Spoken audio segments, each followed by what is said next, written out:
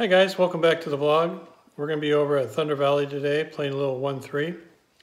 I just heard some good news. Uh, Sacramento area is starting to reopen and my understanding is that Capitol Casino will be open on Friday at 8 a.m. They still have to abide by a 10 p.m. curfew and it's going to be outdoor uh, gambling of course. But it's good news. Um, we've only had Thunder Valley as an option. Uh, this gives us uh, another one. I imagine that Stones will also be opening up soon. So it's a good sign for poker in California, at least in the Sacramento area. I know that you guys down in LA are, are having your own issues, and it might be quite a while before the casinos open up down there. Anyway, we're off to Thunder Valley. I hope you enjoy it. Here it comes. After a short wait, we start a brand new 1-3 game. Our starting stack's $300, and the first hand we look down at are two queens. We raise to 13 and only the small blind calls. The flop comes 9-6 deuce with two clubs. He checks to me and I check it back here for deception. Turn card comes as a 4 clubs. He checks again. I just bet and take it down at this point. I raise a limper to 15 with queen jack suited. Flop is pretty good. Comes jack deuce 3. He checks to me and I just continue and he quickly folds. This game has been very passive for the last half hour. I spotted my nemesis and new friend from the other day over at the other table he was interested in coming over and playing with us. So when the person in seat one left, I went ahead and waved him over and he did get a seat change. So of course, once he limps in, I'm going to go ahead and raise my Jack 10 suited and we go heads up to the flop, just like the good old days. Flop comes five, six, seven with two hearts. Definitely in his range and definitely not in mine. So I go ahead and check it back when he checks to me. Turn card comes as a two of spades, and now he leads. I'm just going to get out of the way and wait for a better spot. The under the gun player raises to 10. The small blind calls. I defend from the big blind with 7, 8 of clubs. The undergun player bets 15. I decide to call here with plans of betting any blank turn. I think he's more prone to have either ace high or a middling pair. So with 60 in the center, the turn card comes is a king, which kills my idea of representing some sort of king here. So I decide to check it. He checks it back. River card comes as a four, and he takes a small stab at it for 15. I just have to fold. Our friend in seat one decides to open for $7. I'm going to give him some action here on the button with queen five of clubs. Both blinds call for the $7. So we go four ways to a flop of king, seven, five, two hearts, one club. It gets checked to me. I just check it back. Turn card is a five. It gets checked to the big blind who takes a stab for $12 our friend in seat one calls. And I decided to raise here. Looking back at this, I would prefer to make a smaller raise or even just flat it to keep everyone's range in it.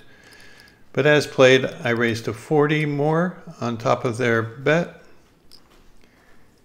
And the first player folds fairly quickly, and now my friend in seat one goes into the tank. He's talking to me, asking me if I have something like an ace high. I don't think he got it. And he's very close to putting in a call. I think if the size was a little bit smaller, he would definitely call. But he shows a pair of threes and it hits the muck.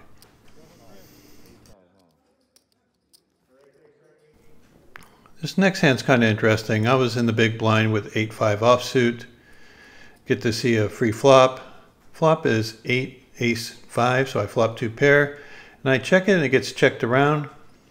Turn card comes as a six of diamonds. I go ahead and lead for $10. Player to my direct left calls. And now the player in the back, he raises to 75. Uh, he's a trappy kind of player, and I'm thinking that he has something like a set or two pair, and he's afraid of a flush and straight draws. I just get out of the way. Under the gun opens for a raise to eight. I call with ace queen off, and the big blind also calls. So we go three ways to a flop. Flop is nothing for me. It comes king, four, three, all different suits. Big blind checks. The initial raiser bets small. I have a good read on him that he's very weak here. So I decide to steal the pot. I raise to 22. Now the big blind jams his entire stack in. Obviously, he was laying in the weeds here, and I get caught with my hand in the cookie jar. Our friend in seat one ended up leaving, so we asked for a table change and was moved over to another table with some bigger stacks and more action. Our first hand is ace jack offsuit. We raise to 15 and just the blinds call. The flop is 8 8 deuce. And when they check to me, I bet $20. I expect to take it down here most of the time. They both quickly fold. We raise with 9 7 of clubs in the hijack to 12. Both blinds call. So three ways to the flop of ace, eight, six with two spades. So we have an open ender here, a disguised hand, and the player in the big blind bets 15. We decide to call. Turn card is a six of diamonds. Now he leads again, this time for, you know, a small amount, $22 for the size of the pot. I don't know exactly what it is, whether it was just his bet sizing or his mannerisms, but I'm putting him on a, a flush draw here, and, and he was trying to like name his price that he wants to draw it for. So my plan here is to call and to bet any non-spade or raise with any non-spade on the river.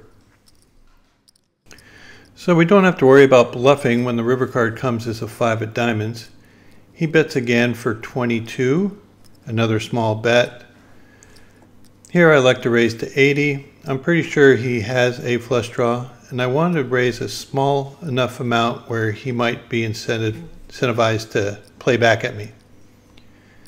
So after thinking for quite some time, he ends up putting in the fold. I'm not really sure whether he had that flush draw or not, but that's what I my read was, so I went with my read. It's possible that he might have had an ace with a weak kicker and just decided to give it up. But my line looks pretty strong and I'm happy to take it down.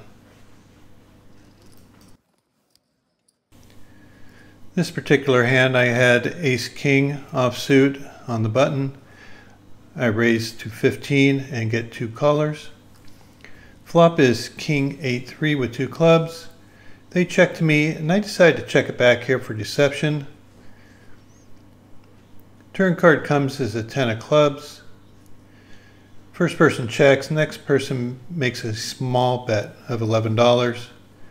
I decided to flat.